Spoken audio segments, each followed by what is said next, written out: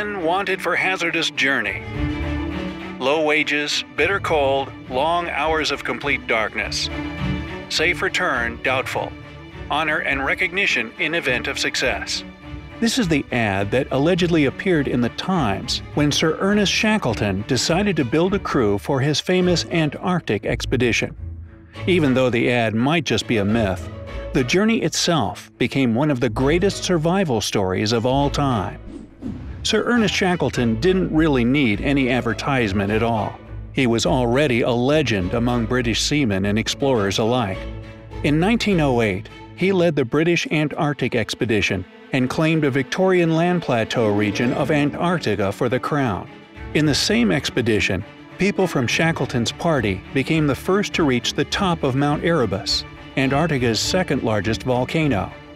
His new daring idea for a hazardous journey gained so much attention from newspapers that soon Sir Shackleton had a crowd of volunteers knocking at his door. He carefully selected only 27 of them, and oh boy, did he choose wisely. They were men of steel, no doubt, knowing what a huge goal they set for themselves. With those men, Ernest Shackleton intended to reach Antarctica and cross the whole continent via the South Pole. Not exactly a walk in the park, if you ask me. On December 5, 1914, they left the shores of South Georgia in a ship called Endurance.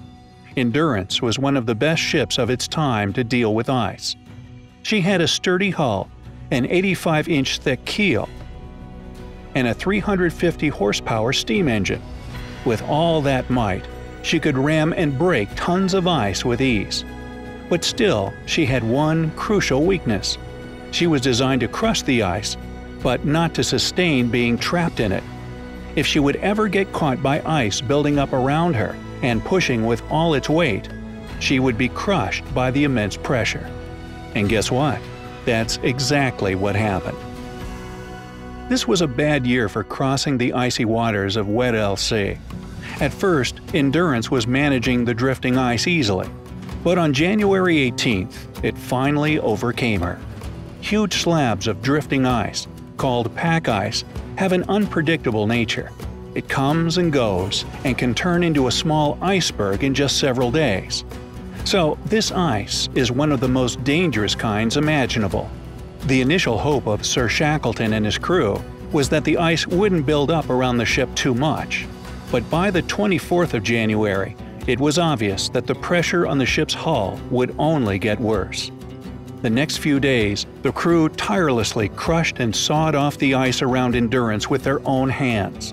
Not to free the ship completely, that would be impossible, but to push Endurance back and leave the rest of the ice to her engine and keel. This idea was promising, but eventually fell short. The ice in front of the ship was just too strong, and the progress was too small. The only hope for Endurance was if it could stay undamaged until spring. Passing the winter on a ship trapped in ice is no joke. The pressure on the ship's hull was rising, just like the pressure on the seaman's will. If not for Sir Shackleton's skill of managing his crew, this story might have ended right here. But they believed in their captain, who they referred to simply as Boss. He sustained discipline on his ship by implementing a stable routine for each and every crew member. Everyone stayed busy, brightening each day with some kind of fulfillment. They even found a way to play soccer on the ice around the ship. Everyone on the ship knew that their one hope in such a dire situation was Sir Shackleton's command, so their spirit remained untouched. Despite all the effort of shoveling new ice and snow building up around the ship, the pressure on the ship only rose. Spring didn't bring the much needed relief for the Endurance. From time to time, the crew would hear unpleasant crackles and shock sounds. At first, Shackleton said it was whales passing underneath the ice. But everybody knew that the ship may soon start to crumble.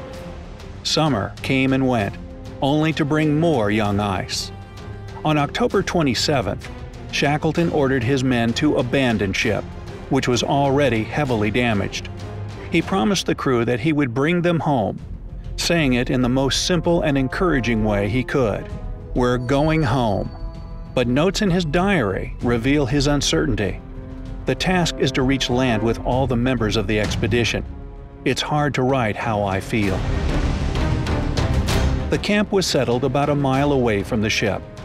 The crew still had some supplies and three lifeboats, but the resources were limited and they were isolated from the world, drifting on ice across the Weddell Sea with no means to get more food. On November 21, 1915, Endurance is finally crushed and buried under the ice, much like the hope of fulfilling the goal of the expedition. On December 20th, Shackleton decides that they'll head towards what he thought was the nearest land, Paulet Island. What they didn't realize is that the ice they were marching through was drifting toward the east, and Paulet Island was on the west. By the end of their journey through the ice fields, they were even further from land than when they began. Still, this march was not completely pointless. At the end of it, Shackleton and his men spotted another island, Elephant Island. Stepping on solid ground felt like euphoria for 28 tired seamen. First days on land were spent refilling food supplies with wildlife.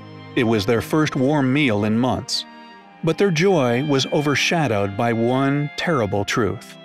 Elephant Island was not much better than a drifting ice slab.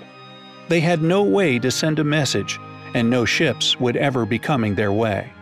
There would be no rescue. But Sir Shackleton wasn't one to surrender and leave his men to certain demise. Instead, he took one lifeboat and only five men and went off to find help. Yes, he knew what they were facing.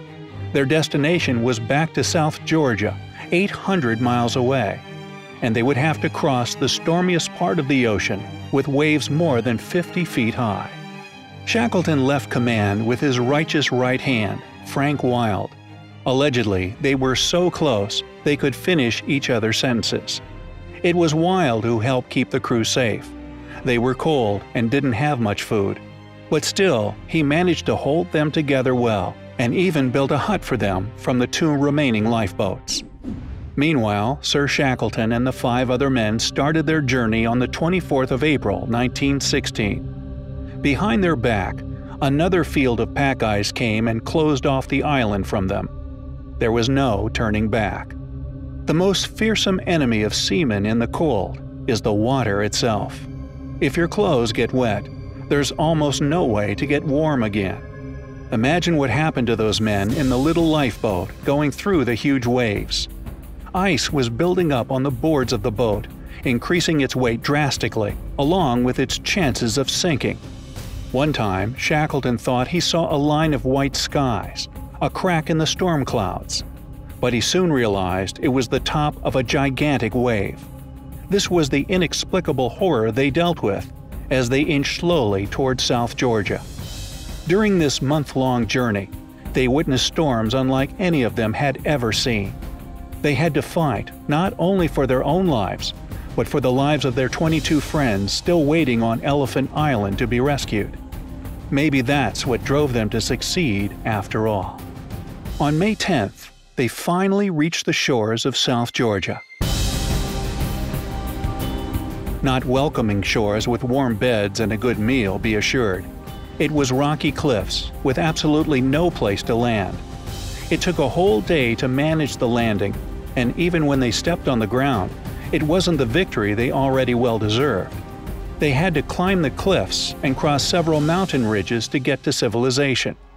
And their sheer exhaustion only left them a little time to do so. On their way, Shackleton even restricted himself and his men from sleeping more than five minutes at a time in fear that they wouldn't wake up. When they reached the last ridge, they were at their limit, but suddenly, a familiar sound brought back their energy a whistle that's used to wake up whalers in the morning. The whalers knew Shackleton, but at this point, it was pretty hard to recognize him. His bad condition alarmed the whalers, and in no time, they were helping to rescue their friends on Elephant Island, and, what a miracle, they were all alive and well. They survived. As Shackleton recalls, He and his five comrades were thrilled to find the whaler village, not because they knew they were safe, but because they knew their friends would be saved. And this is how the story of the most miraculous survival ended. Sir Shackleton may have never reached his goals of crossing the Antarctic continent from shore to shore, but his name will always be remembered in the history of Antarctic exploration. So, what's your favorite story about explorers or fearless seamen in general? Let me know down in the comments. If you learned something new today, then give this video a like and share it with a friend. But hey, don't go anywhere just yet. We have over 2,000 cool videos for you to check out. All you have to do is pick the left or right video, click on it, and enjoy. Stay on the bright side of life.